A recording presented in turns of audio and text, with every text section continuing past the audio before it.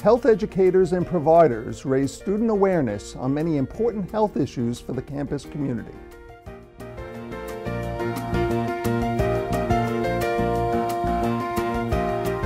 And Dr. John Draper, Director of the National Suicide Prevention Lifeline, joins us to discuss the topic of suicide prevention. Really twofold. One is that, that they're the highest risk persons for dying by suicide. So in fact, 7% of people who've attempted suicide will go on to die by suicide. But that also means that 93% go on to live and find reasons for living. And we look back at the Driving While Informed program.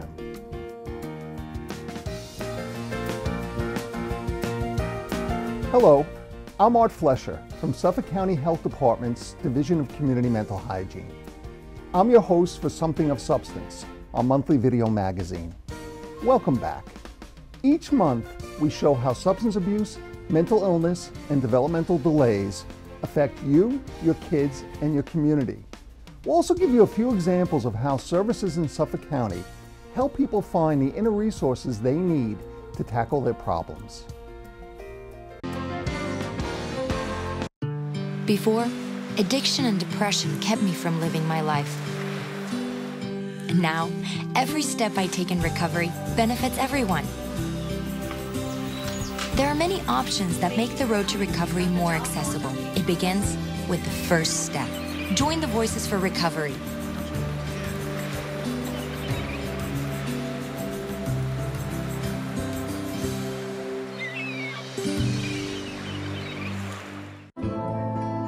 Every day, I seek a positive direction for my life. Through my accomplishments. And now, with help. And support from my family and others I own. I own. I own my recovery from addiction and depression. Join the Voices for Recovery. It's worth it. For information on mental and substance use disorders, including prevention and treatment referral, call 1 800 662 HELP. Brought to you by the U.S. Department of Health and Human Services. Suffolk County Community College is becoming a smoke free campus. The college, in conjunction with various health education groups, put together a health fair to raise awareness on the many issues facing their school community. The health fair came about by the college wanting to connect the students to the community and give information to the students about various health issues. I'm here today at Suffolk Community College to offer information for the chemical dependency program. Um, we offer a variety of literature that students may want to check out and possibly if they're interested in um, majoring in the field. The mission of today's health fair is to bring education and awareness to the students about various health information in our community and to give that information in a way that they can share it with their loved ones and people that they know. Because of the wide diversity of students on this campus, we're really hoping to just get the information out about prevention and raise awareness about substance use and abuse in general. We're speaking here on a college campus primarily because of the demographic. It's the age group of young adults who are at high risk for use or continued use. And we want to speak to them especially about the risks and consequences so that they can weigh up uh, and make a good decision for themselves about continuing or stopping using any substances, but especially uh, prescription drugs and heroin. So the Prevention Resource Center brought materials today that have to do with such things as the social host law in Suffolk County because we understand that some students at Suffolk Community College are non-traditional students and they might have families. We also have information on underage drinking, on prescription drug use, uh, the concerns of mixing potential drugs with alcohol and other information that might help support the prevention mindset in this population? Well, one of the key issues that students and youth are facing today uh, is chemical dependency and drug and alcohol abuse. Uh, as the coordinator of this program, we see a lot of people that are struggling with addiction and um, they are working on you know getting the help that they need and, and getting referrals to the appropriate resources. Uh, a lot of students have other health issues of concerns that they may decide they want to uh, go into nursing or go into occupational therapy assistance. There's a lot of allied health professions here. But the students struggle with a variety of stress generally. Stress is a big issue for students. And helping them to know how to work with their mental health issues as well as their physical health issues is an important part of what we do at community college. We're looking to accomplish handing out literature to students that may be interested in majoring in the chemical dependency field or may need um, literature for themselves or their loved ones. Well, we're hoping that we reach out to the campus community, that they have a higher level of comfortability talking about alcohol or alcoholism. If they have a friend that might ha that has a problem, we can bring an awareness of how to approach that topic with their friends, or even if they have a problem, we want to make an outlet that um, they know that there's somewhere to go if they think that they have a problem with drinking or know somebody who does. In the summer of 2015, Suffolk Community College, all their campuses are going to be going smoke free. So we thought it's important to come here and let the students and the staff know that there is help available for them. We're here to support the uh, campus efforts to go smoke-free in 2015 on all three campuses. It's a growing trend across New York State that colleges and universities are beginning to go tobacco-free. So we're here to help them in terms of making the policy and to make sure that the students and the faculty have access to cessation resources to help them when this policy comes into effect getting this, the health issues out to the students is really important because we know today that the number one thing people can do to improve their health for now and in the future is for them to stop using tobacco. A lot of people think it's going on a diet or losing weight, but it's still smoking and tobacco use the number one health problem. I'm here from Response to Suffolk County at the Suffolk Community College Health Fair, and I'm here to do two things to get our message out about who we are and what we do, and to recruit volunteers to work in our call center. Students have been very receptive to the health fair. I think it helps to heighten their awareness about issues and programs within the college that they may not have thought. A lot of students are contemplating what degrees they want to go for, where they want to go for continuing education, and if they want to become health professionals, and a fair like this gives them access to information and professions that they may want to pursue. Uh, well, I hope that students who come into my table and to the other tables here at the health fair learn about how to live healthier lives, uh, find the support in the community that they need, and get the resources and information about what they're doing to lead those lives healthier. We'd like to thank Suffolk Community College Brentwood campus and the participating agencies for educating us on some of the available resources promoting healthy living practices on campus. For more information about Suffolk Community College events, please visit their website at www.sunysuffolk.edu. Up next, Dr. John Draper from the National Suicide Prevention Lifeline joins us to discuss suicide prevention. We'll be right back.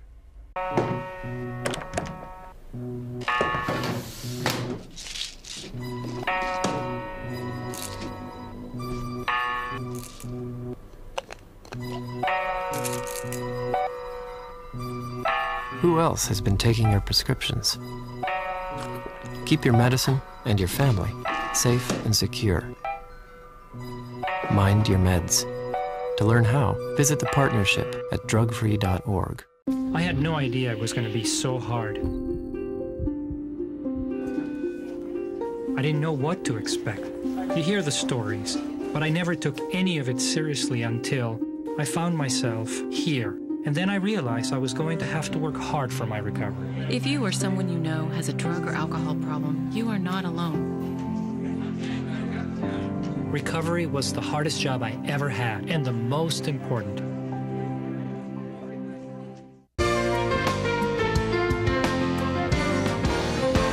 According to the Centers for Disease Control and Prevention, suicide is the 10th leading cause of death in the United States for all ages.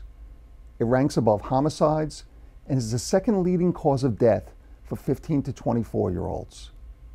At a recent Suffolk County Suicide Prevention Conference, we were fortunate to interview Dr. John Draper, the director of the National Suicide Prevention Lifeline, to get his expertise on this important health concern. Dr. Draper, thank you very much for joining us today. Thank you, Art. What have we learned from suicide attempt survivors? The reason that we need to be listening to people who have survived suicide attempts is really twofold. One is that, that they're the highest risk persons for dying by suicide. So, in fact, 7% of people who've attempted suicide will go on to die by suicide. But that also means that 93% go on to live and find reasons for living. So we not only need to be listening to them to see what's causing them to want to kill themselves, but for the 93% who found a way to live, we need to find out what that is. Those are the stories of hope. And that is, in fact, they have the stories of suicide prevention that we need to get out. So we learn not only what puts people at risk through talking with them, but also what's get, what gets them out of it. Dr. Draper, what signs can concerned parties look for to detect if a person is contemplating suicide? When you see somebody going through a significant loss in their life, they uh, lost a job, change in financial status, change in, uh, in their health, um, uh, change in a relationship, and so they're going through a divorce or some loss or major change that, that or significant humiliation. Um, you know, where they were, you know, uh, publicly humiliated or bullied in some way. These are things that cause people to feel very desperate, and that and, and, and that the life I knew has now changed, and I don't know how to deal with this.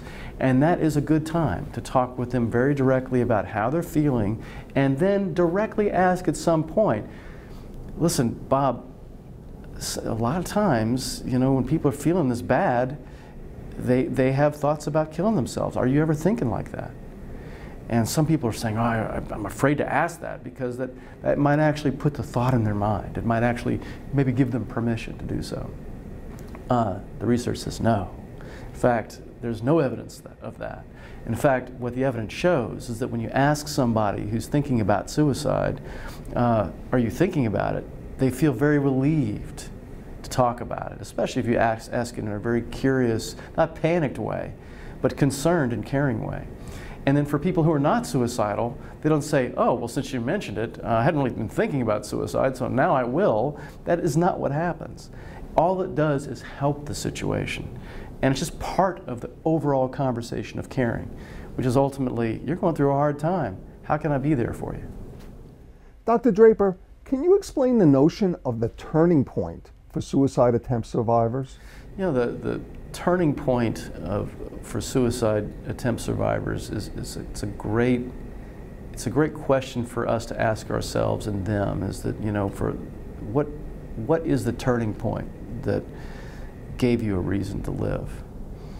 And you know what what what I think is is really interesting. I, heard a conversation recently where one of our uh, world experts in suicide prevention was asked by the, the suicide prevention branch chief of the Substance Abuse and Mental Health Services Administration. He asked Tom Joiner, Tom, are all suicides preventable? Do you believe that all of them are preventable?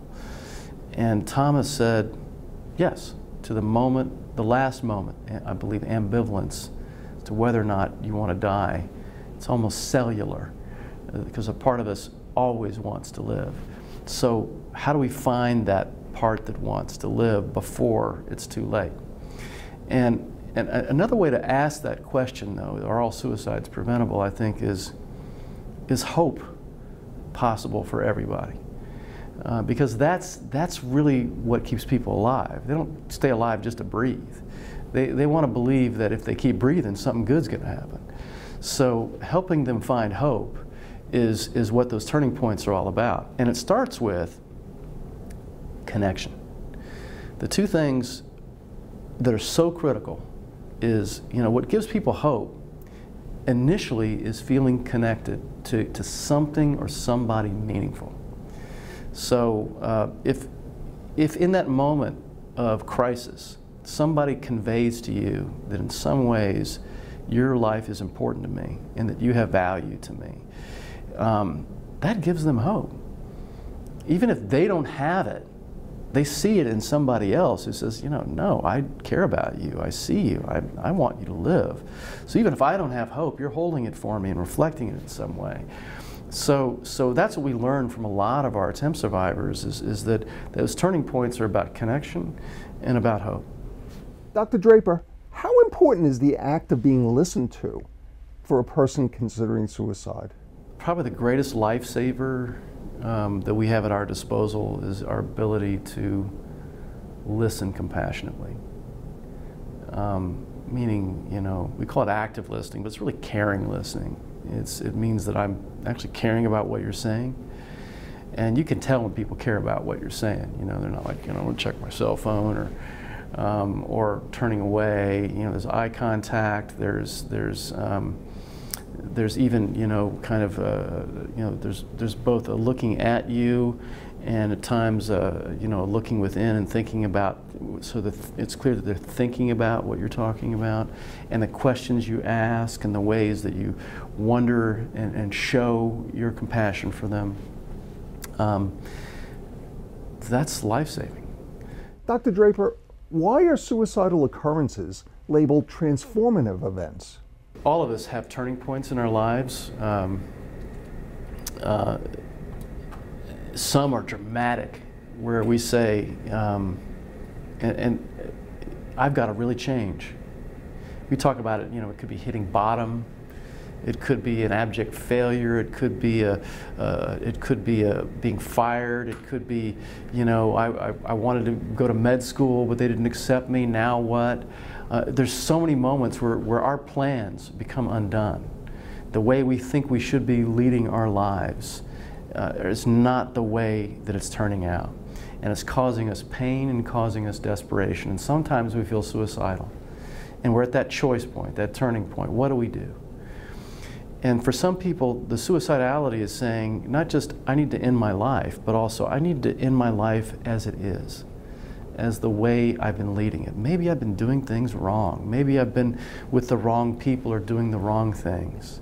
So it's, a, it's an opportunity to reevaluate everything, starting from scratch, even. And uh, without killing yourself, but it might be killing some aspects of your life that were killing you. And that's what how suicide is a transformational opportunity. If we can think about that moment as not just about suicide and you're going to die, but also I'm already imagining what this could be for you. What this could be for you perhaps is something different than the way you've been living your life. Not about dying, but living differently. We'd like to thank Dr. Draper for giving us some time away from the conference. For more information about suicide prevention resources, please visit the National Suicide Lifeline website at suicidepreventionlifeline.org. For information on resources here in Suffolk County, you can call Response of Suffolk County at area code 631 751 7500. Up next, in our archive segment, we revisit the Driving While Informed program. Stay tuned.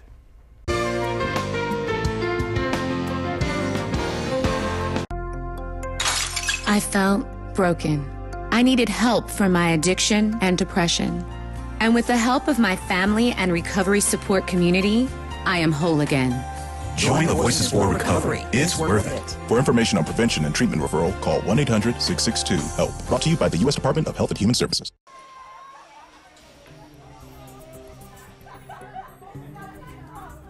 They'll be fine, I hope. What if you could prevent a young person from getting hurt or killed? What should I do?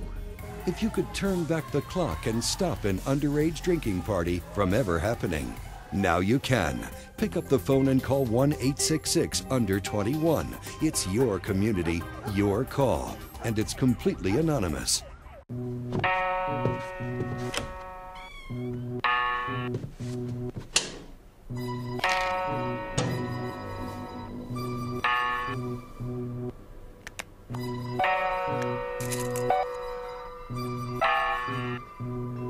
Who else has been taking your prescriptions? Keep your medicine and your family safe and secure. Mind your meds. To learn how, visit the partnership at drugfree.org. The Suffolk County Police Department's school resource officers teamed up with Shoreham Wading River High School to facilitate the Driving While Informed program. This student centered program gives students a first hand perspective on the dangers and consequences associated with driving while distracted or impaired. This event was coordinated through the Criminal Justice Program in coordination with the Suffolk County Police Department's COPE unit, specifically their school resource officers. The Goggle program has shown young drivers how important it is to not drink and drive these days. It's amazing how many kids take it for granted that they can, they can drive and they don't think about the consequences that are down the road when they do get caught drinking and driving. Um, without the goggles, it was pretty easy to see where you were going. It was just like driving a regular car. It wasn't that hard at all. Driving with the goggles, you couldn't see anything as soon as you put the goggles on. Everything was slanted, blurry, and you couldn't really make out which cone was in which lane.